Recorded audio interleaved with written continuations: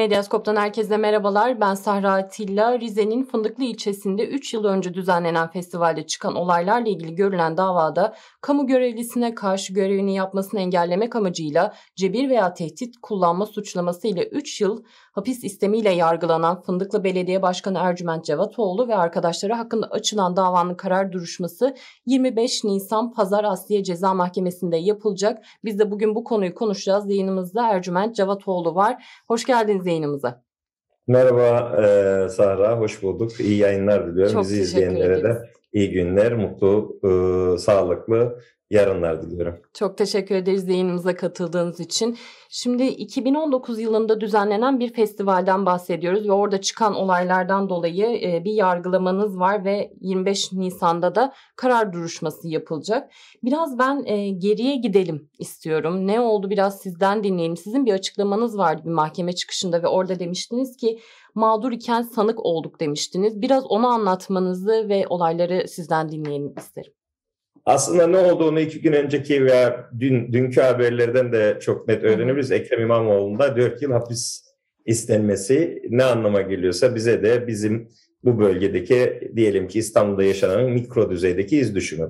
Şöyle e, biz 2019 yılında seçimi yüzde 60'da kazandık ve o seçildiğimiz günden beri Meci anlayışıyla, Meci kültürüyle halkın yönetime katılımının önünü açtık. Hiçbir zaman içinde başkana ulaşılmaz başkan kılmadık. Sokakta halkın e, biri, halktan biri olarak e, çalışmalarımızı yürüttük ve bir e, yönetim anlayışını değiştirdik. Bu kapsamda da e, belediyeciliğin sadece ve sadece e, altyapı, üst yapı, su ve benzeri yatırımlar olmadığını ve kültür sanat alanında da çalışmaların yürütülmesi gerektiğini, o bölgenin ihtiyaçlarının karşılanması gerektiğine inanarak 2019 yılında Vice Fest başlığı altında Yeşil Altın Gümüş Deniz Festivali yaptık.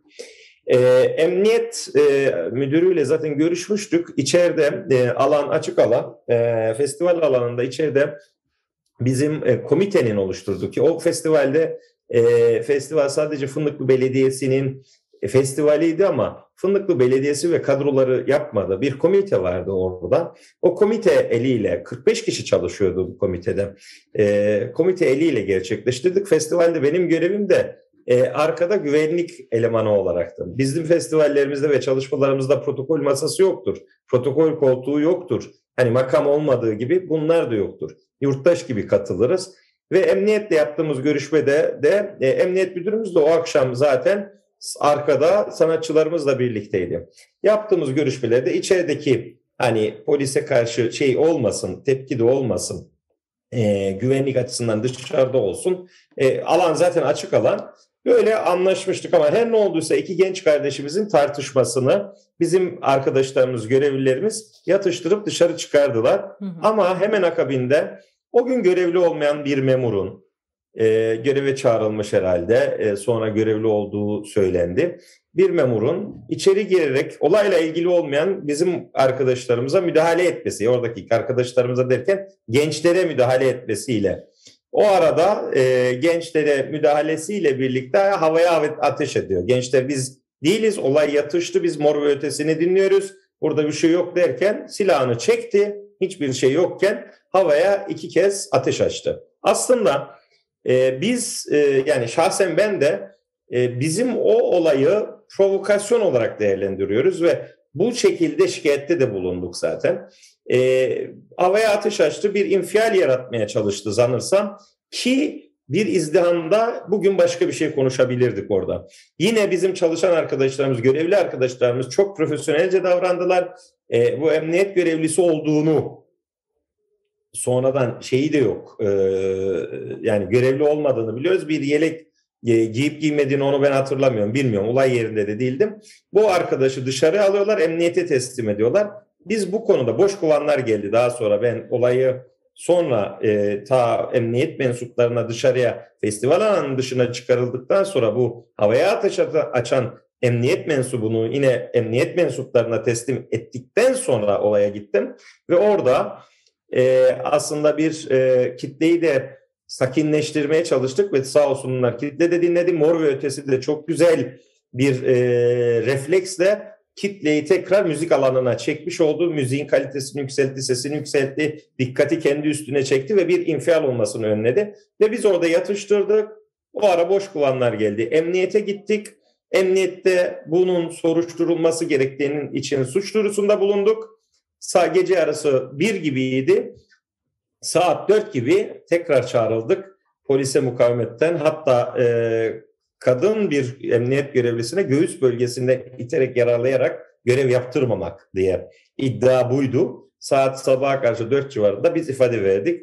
E, yargılama süreci emniyet mensupları için soruşturma izni verilmedi. Benim ve beş arkadaşımla birlikte komiteden ve çalışan arkadaşlarımızla birlikte bize e, demin bahsettiğiniz gibi hı hı. görevi yaptırmamak suçundan 3 yıla kadar hapis ve hak mahrumiyeti talebiyle e, şey e, dava açıldı ve e, karar aşaması da e, ne kadar geldik. Hı hı. Sanırım bir e, aleyhinize tanıklık eden bir kişi tanıklıktan çekilmiş. O süreci de anlatmanızı rica edebilir miyim? Tabii ki. Şöyle e, bizim Fındıklı halkının bu festivale katılan Fındıklı halkından e, tanıklar çok fazlaydı. 20'ye yakın tanık vardı. Bu süreçte dinlendi. Hı hı. Ama hiçbir tanığın tanıklığı sanki kabul edilmemiş gibi aleyhimize polis yani güvenlik görevlisinin suçlusu ve polis ve bir e, Gürcü uyruklu ötekileştirmek için söylemiyorum. Hı hı. E, Gürcü vatandaşı olan o zaman Gürcü vatandaşı olan bir kadın e, olayla alakası yok, olay bölgesinde değil vesaire. Bir biz biliyoruz bunu ama tabii bunu e, ispatlama şansımız yok. Kamera kayıtları yok o alanda. E, ve e, bütün o tanığın ve polis memurunun aslında ifadeleriyle bize 3 yıla kadar hapis istendi. Ne yazıktır ki e, bu tanık e, şu anda Türk vatandaşı. E, şayet tanıklık yaparken e, Gürcü vatandaşıydı. Türkiye'de biriyle evliydi ama vatandaşlığını henüz almamıştı. Niye almadığını bilemiyorum. Bu bir olabilir, denk gelebilir, tesadüf. Daha vahim bir şey e, tanıklık yapmadan önce e, bütün dosyayı savcının oluruyla alıyor tanık. Hani biz alamazken sanık olduk, mağdurken sanık olduk. Biz alamazken e, dosya, inceleme dosyasını tanık e, savcının oluruyla e, tanık e, bütün dosyayı alıyor ve ondan sonra üç kez ifade veriyor. Üç kez e, tanıklık ifadesi veriyor.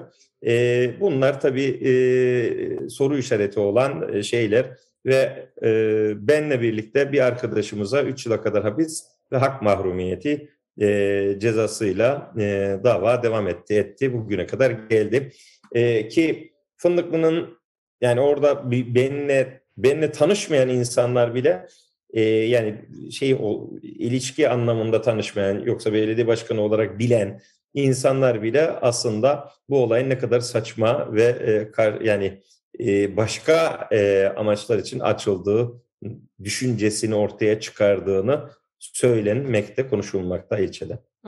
Peki siz ne bekliyorsunuz aslında 25 Nisan'da? Şimdi şöyle 25 Nisan'da ben ne bekliyorum? Aslında bizim dedim ya mağdurken yani olayı yatıştıran, büyümesini önlemeye çalışan ekip olarak emniyet görevlilerine yardımcı olan yani herhangi bir olay yokken olay çıkarman, çıkarmaya çalışanlara karşı sükunetle ve e, bir e, böyle olgunlukla davranan ekip iken e, bir baktık ki biz mağdur olduk. Havaya ateş açmak, polisin, emniyet güçlerinin silah kullanması bu kadar kolay olmamalı.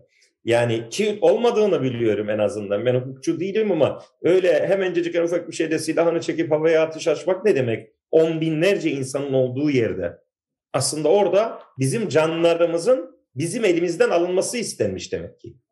Tabii bu niçin yapıldı? Bizim makamımız yok, makam şoförümüz yok, koltuğumuz yok, e, makam masamız yok, özel sekreterimiz yok. Halk yönetime katılıyor, meci anlayışıyla çalışmalar yürütüyoruz. Fındık'ta muhalif Hani bu bütün engellemelere rağmen yatırımlar yapıyoruz. Halka rağmen değil halkımızla birlikte bu işleri yapıyoruz. İki gün önce e, ee, 7 gün boyunca e, sizin meslektaşlarınız, gazeteci, yazar, edebiyatçı, şair dostlarımızla birlikte kitap günleri yapıyoruz. Çocuklarımızı kitaplarla buluşturuyoruz. Bunlardan rahatsız olunduğunu düşünüyorum. Bu kadar bana göre uyduruk. Yani ki toplum da yani burada fındıklı halkı da söylüyor bunu gözlüyor. Ee, bir şey yüzünden ceza alabilirim. Hiç sorun değil.